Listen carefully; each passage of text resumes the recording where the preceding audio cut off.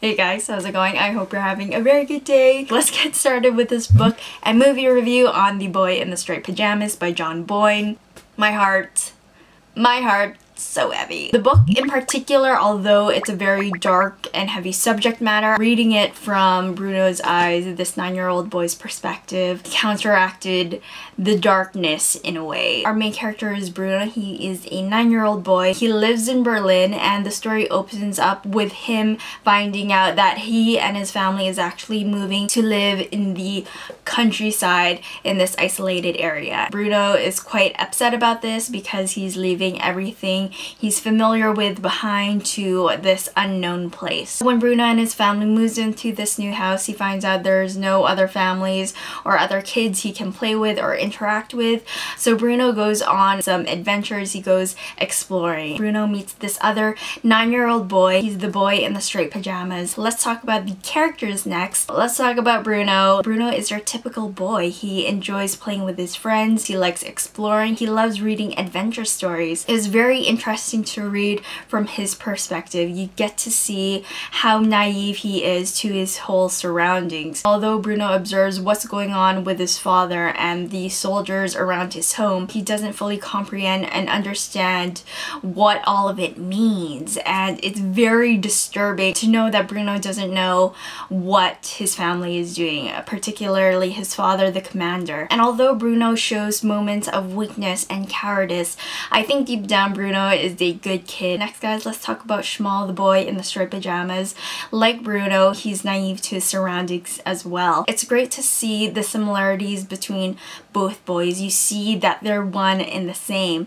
And although their circumstances are very different, they share common interests, their love for their family members. And reading about Bruno and Shmuel's relationship, their genuine friendship, is both beautiful and horrifying at the same time. Next guys, let's talk about the plot. I thought the plot was very steady paced. You know, I was pulled into Bruno's story, reading about his time in his new home, his interactions with Maria and Pavel to see Bruno's innocence and his genuine nature. So as the plot progressed, the plot became more heavy and unsettling. But John Boyne doesn't get into the horrifying details of the Holocaust and the concentration camp is purely from Bruno's point of view and what he sees and what he's trying to understand. So it had a very childlike innocence and quality to it. Knowing about the Holocaust, knowing about this time period, it was very intriguing to read from this different point of view. It was pretty pretty unsettling is a good word. So with that being said guys, I'm going to give The Boy in the Striped Pajamas by John Boyne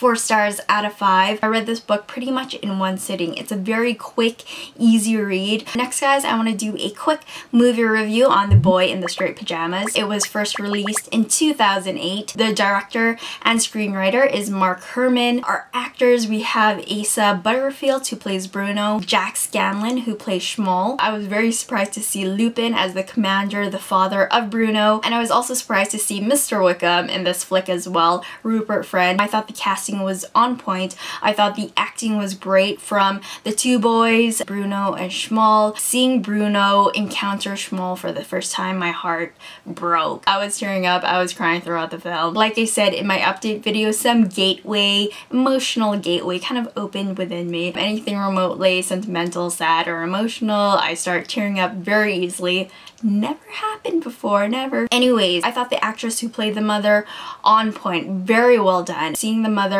unravel and crumble as the film progressed really captured the pain of this whole situation. It was very emotional and intense and oh, her performance was great in this film. And as far as the look of the film, very well done as well. I thought you were really pulled into this time period, this World War II era, from the costume design design, the setting, the location shots, you were there. And it was very horrifying and very authentic. So as a film as a whole, I thought it was very beautifully shot, well executed. As far as the book to movie comparison, I thought the adaptation, the interpretation of the book is very well done. Even though the movie didn't capture the book scene for scene, I thought Mark Herman did an excellent job of capturing Bruno's story from the beginning to the end. And really captured the darkness and the heaviness of the subject matter and of this time period. So with that being being said, guys, I'm going to give The Boy in the Striped Pajamas, the film,